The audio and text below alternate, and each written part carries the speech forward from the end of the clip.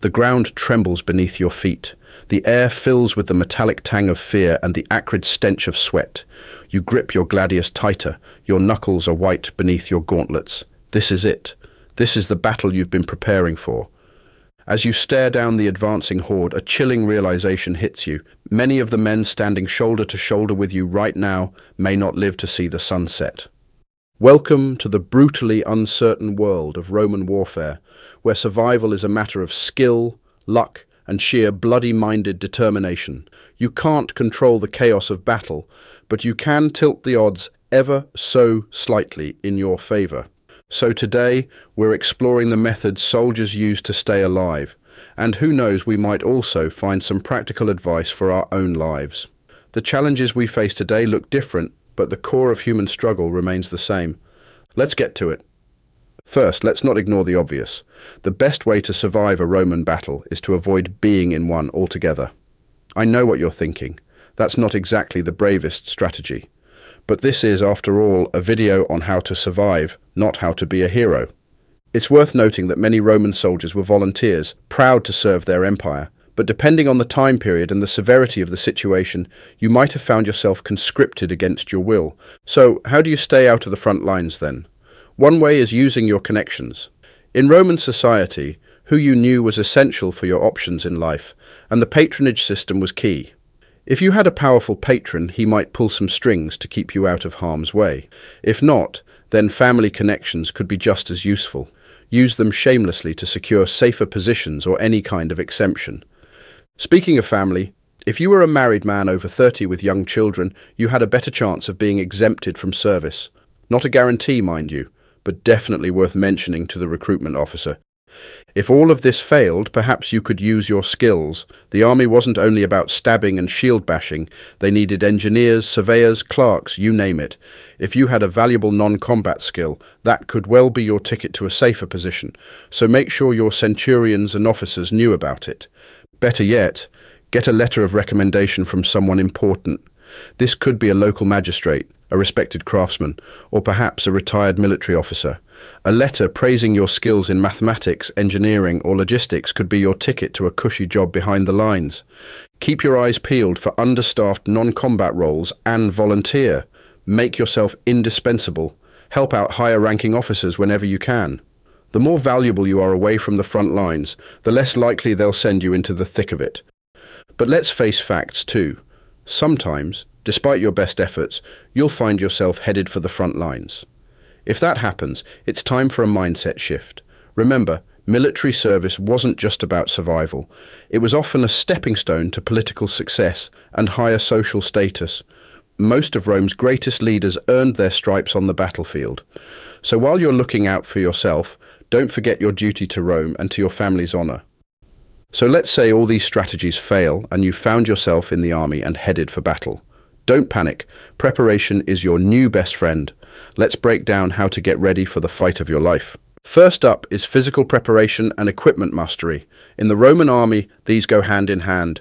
You'll be doing daily weapons drills with your gladius and your pilum. Get used to them. They'll be your constant companions. Focus especially on muscle memory. Constant drilling creates instinctive reactions, crucial for surviving the chaos of battle. When your mind is overwhelmed, your body needs to know what to do without thinking. Master the draw and thrust of your gladius. Quick, efficient movements reduce your exposure to enemy attacks. And don't forget your pilum. Practice throwing it effectively. A well-aimed pilum can disable an enemy's shield or break up their formation before they even reach you. And while you're at it, get to know your armour intimately. An ill-fitting helmet can obstruct your vision, or worse, fall off in the heat of battle not ideal when you're trying to keep your head attached to your shoulders. Also, maintenance is key. After each training session, clean and oil your weapons and armour regularly, check for damage and repair it promptly. A weak spot in your armour or a crack in your shield could be fatal. But it's not just about swinging swords and throwing spears. You'll also be marching, a lot, and not just a leisurely stroll. We're talking very long distances with a full pack. It's grueling, but there's a method to the madness. This builds your endurance, which is crucial for lasting through long battles. Speaking of endurance, let's talk cardio. Battle is extremely draining. Even if you can march a long way, you also need to be able to fight intensely for extended periods. Marching builds endurance stamina, but combat requires a different kind of fitness. So run, wrestle, climb, do whatever it takes to build that explosive stamina. In the heat of battle, it could mean the difference between life and death. Strength and agility exercises are also on the menu. You need to be quick on your feet, but more importantly, you need to be strong enough to hold your ground. Train to resist being pushed backwards or thrown to the ground when the enemy slams into your line. This strength is crucial for maintaining formation. If you can, try to go above and beyond in your training. Your life depends on it after all. The more familiar you are with your equipment, the more it becomes an extension of your body rather than a burden. In reality, though, you'll probably be too exhausted from the mandatory training to do much extra.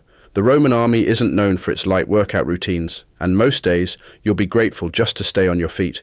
But focus on making every moment of official training count. Now, let's talk about the mental game. Physical preparation is crucial, but mental fortitude is what separates the survivors from the statistics. First, accept the reality of combat and the possibility of death. It's grim, but facing this head-on will help you stay focused when chaos erupts around you. Practice mental exercises to manage fear and stress. Many Roman soldiers turned to stoicism, focusing on what they could control and accepting what they couldn't. Find a mantra that works for you. You'll need something to cling to when chaos erupts. Remember what you're fighting for. Yes, it's for Roman glory, but in the heat of battle, it's your fellow soldiers who matter most. Your contubernium, those seven men you eat, sleep and train with, is your lifeline. Make their survival your mission, and you'll find strength you never knew you had. Seriously cultivate the Roman virtues, courage, loyalty, and self-control. Those aren't lofty ideals, they're survival tools. Courage pushes you forward, loyalty keeps you fighting for your brothers, and self-control stops you from breaking ranks and running, which is a surefire way to get killed. Remember, all this preparation is never just about personal survival. It's about contributing to victory. In a winning battle, you're far more likely to make it out alive. So, train hard, stay alert, and trust in your preparation. The day has finally arrived. Dawn breaks, and with it comes a flurry of activity. You're up early, if you manage to sleep at all. If you're lucky, there's time for a meal. Eat a little, even if your stomach is churning with nerves. You'll need the energy later. Some soldiers might be joking around, trying to lighten the mood. Others are silent, lost in their own thoughts. Both are normal reactions to the stress you're under. Orders come down the line. It's time to move out. You take your assigned position in the formation. The familiar weight of your scutum on your arm and the gladius at your hip are oddly comforting. The march begins. Thousands of men moving as one, the rhythmic thud of feet and the clank of armour creating a soundtrack of impending battle. Keep in step with your comrades. This is not just about getting to the battlefield. It's about unity, about becoming part of something larger than yourself. And stay alert for last-minute orders. Battle plans can change in an instant, and missing a crucial instruction could be fatal. As you march, you might feel a strange sensation, a mix of fear, excitement, and something else. It's the weight of history. Countless Roman soldiers have made this march before you. Now it's your turn to add your chapter to that legacy. Finally, you reach the battlefield. But the fighting doesn't start immediately. Now comes one of the most challenging parts of the day. The wait. You can see the barbarians in the distance. They might be shouting, banging their weapons on shields, trying to intimidate you. Don't let it get to you. Focus on your training and on the men beside you. Time seems to slow down. Minutes feel like hours. Your senses heighten. Every sound, every movement catches your attention. You might find yourself running through drills in your head or muttering a prayer under your breath. Watch for initial enemy movements. Are they repositioning?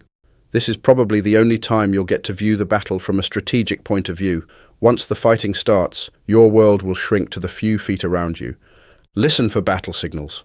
A horn blast or a flag movement could be the sign that kicks everything into motion. Miss it, and you could find yourself out of position when the clash begins. Remember your training. Remember what you're fighting for. The waiting is almost over. Soon, very soon, you'll be putting everything you've learned to the test in the crucible of combat. Suddenly, the moment of truth arrives. If you're in the front line, ready your pilum. This is not a solo act. You'll throw on command to maximize impact. Aim for the enemy's shields. Your goal is to disable them or create gaps in their formation. As soon as your pilum leaves your hand, reach for your gladius. You may only have seconds before the enemy is upon you. Now brace for incoming missiles. Raise your scutum, angling it to deflect enemy javelins. Stand close to your comrades to minimize exposed areas. And remember, your shield doesn't just protect you, it's part of a greater defense. The enemy closes in. Prepare yourself for the intense physical shock of shield-to-shield -shield contact. Plant your feet firmly. Being pushed back is dangerous, falling is fatal. From this point on, your focus is on the few feet around you and nothing else. Don't get distracted by the wider chaos of battle. Focus on your immediate front. Work in unison with your comrades. Stay shoulder to shoulder. Move as a unit, not as an individual. Your line's integrity is your best defense and offense. The sensory overload will be overwhelming. Deafening noise, horrific sights. Focus on your tasks to avoid paralysis. Your training will guide you when your mind reels. If you're in the second or third line, stay alert. Be ready to move forward, potentially stepping over fallen javelins or bodies. Your time will come soon.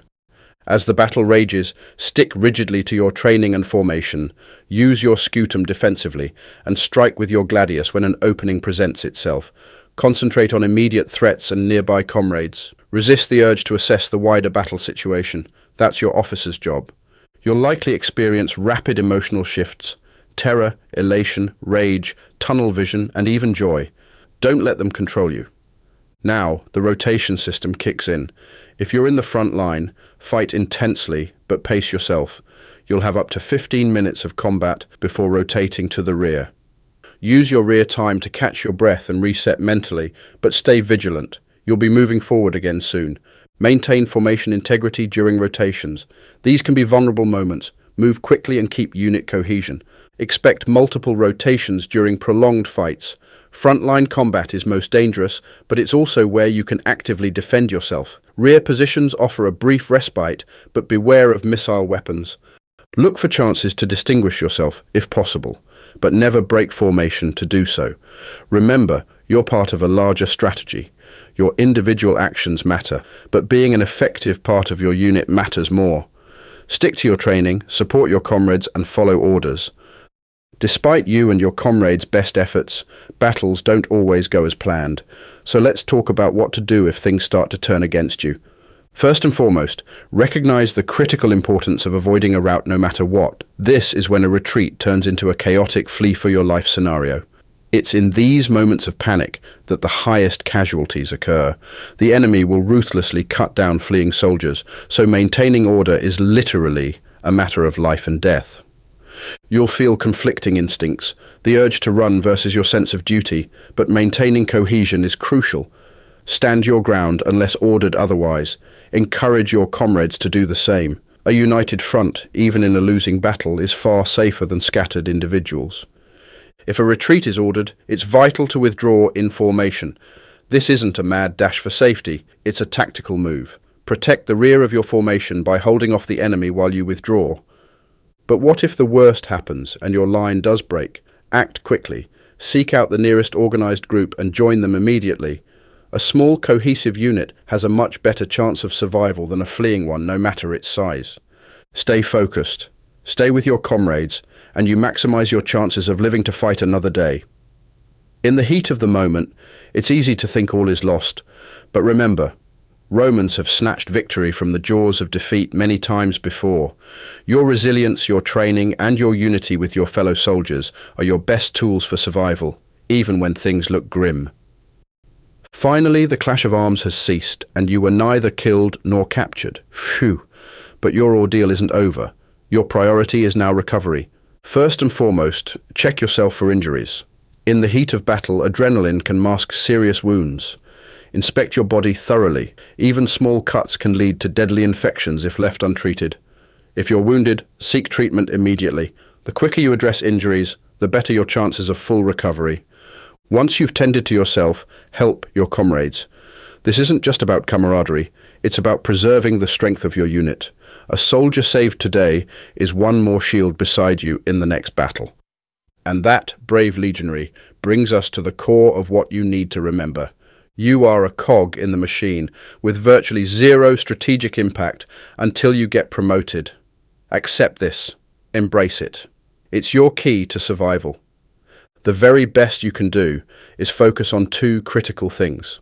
1. Fight the men directly in front of you. Your world is those few feet of battlefield. Master that space. 2. Do your utmost to ensure victory, because winning dramatically increases your chances of survival. A victorious army suffers far fewer casualties than a defeated one. And remember this above all else. Don't try to be a hero, and don't try to be a strategist. Your job is to be the most effective, disciplined part of the Roman war machine you can be. Stick to your training, support your comrades, and never turn around and run. That's how you live to fight another day. And if you want to support our continued march through history, consider joining our Patreon Legion. Your denarii help us forge more historical content, and it's a lot safer than Roman military service. Join us, and let's conquer the past together. Thank you for watching.